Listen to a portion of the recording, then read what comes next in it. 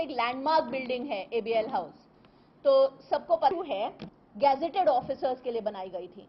और 1951 का एक जीआर है, जिसमें साफ़ साफ़ दिया गया है कि वो सारी ज़मीन सरकार और जो भी गजेटेड ऑफिसर्स उसको लीज पे ले रहा है. ये जो मुद्दा है, ये पूना के एक बड़ी प्रॉपर्टी का मुद्दा है, जो गजेटेड ऑफिसर्स के लिए सरकार ने रखी थी. 1951 का एक जीआर है, जिसमें बोला गया है कि इस प्रॉपर्टी जिसका नाम है विजयनगर विजयनगर प्रॉपर्टी के अराउंड 200 प्लॉट्स गजेटेड ऑफिसर्स को दिए जाएँगे।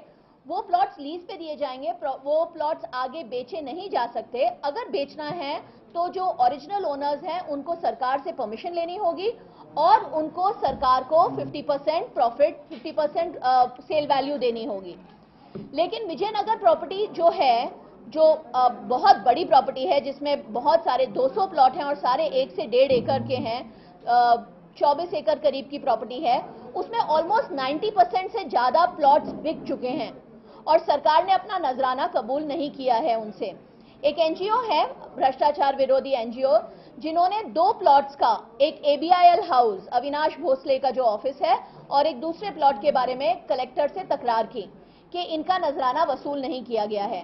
कलेक्टर ने ऑर्डर दिया कि ये नजराना वसूल करना चाहिए और उसकी कैलकुलेशन करनी चाहिए और दंड भी लेना चाहिए पच्चीस टक्का सेल वैल्यू पे। लेकिन एक बहुत ही विचित्र प्रकरण हुआ। एकनाथ खड़से ने रेवेन्यू मिनिस्ट्री में इसकी अपील जब सुनी, उन्होंने जिन एनजीओ ने कैवियट डाला था उन्हें नहीं बुलाया। जो ऑफिसर्स थे कलेक्टर ऑफ़िस से वो नहीं गए और एक एक्स पार्टी ऑर्डर देके इस ऑर्डर को स्टे कर दिया। ये बहुत ही डेंजरस प्रेसिडेंट है। क्योंकि अगर ऐसा हुआ तो वो जो प्रॉपर्टी है, जो 2000 1500 से लेके 2000 करोड़ की प्रॉपर्टी है विजयनगर की, उसका अगर 50 परसेंट वैल्यू है तो वो साढ़े सात सौ करोड़ है, जो सरकार का बनता है। और अगर उसमें 25 परसेंट दंड ऐड कर दें तो वो हज़ार करोड़ के बहुत ऊपर जाती है प्रॉपर्टी की वैल्यू वो सारी प्रॉपर्टी ये प्रेसिडेंट लेके कह देगी कि सरकार को नजराना भरने की ज़रूरत नहीं है। ये सरकारी ज़मीन है, सरकार को हज़ार करोड़ का नुकसान करना बस क्योंकि एबीआईएल को 50 करोड़ बचाने थे, इसके लिए एकनाथ खड़से ने सरकार का हज़ार करोड़ का नुकसान किया है। हम कहते हैं कि हम ऐसी पॉलिटिक्स की निंदा करते हैं, हम ऐसी करप्शन की, क्रोनी कैपिटलिज्म की निंदा करते हैं।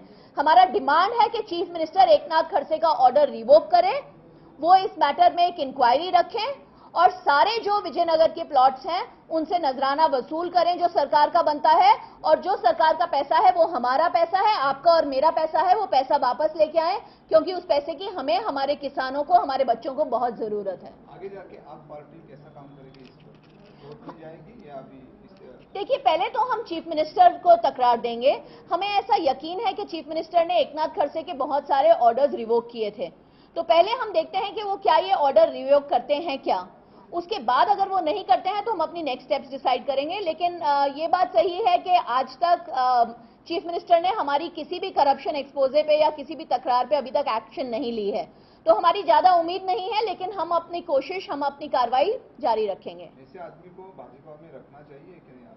से एकनाथ खड़से को तो पक्ष से निकाल देना चाहिए, लेकिन उल्टा आज वो पक्ष पे भारी पड़ रहे हैं। वो पक्ष पे इल्ज़ाम लगा रहे हैं कि उनको मंत्री पद से क्यों निकाला, क्योंकि पक्ष एक तरफ़ उनको मंत्री पद से निकालता है, दूसरी तरफ़ से उनको क्लीन चिट देता है। तो बीजेपी खुद कंफ्यूज है कि अपने अंदर जो करप्शन है, उसके खिलाफ क्या एक्शन लेनी चाहिए।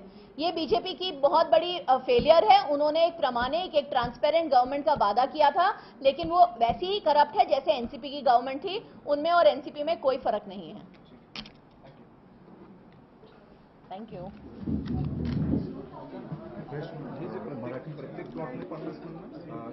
म्हणजे सगळे सगळे प्रॉपर्टी ॲव्हरेज हंड्रेड क्रोर्सची आहे फिफ्टीन करोड़ तक की प्रॉपर्टीज़ है वहाँ पे।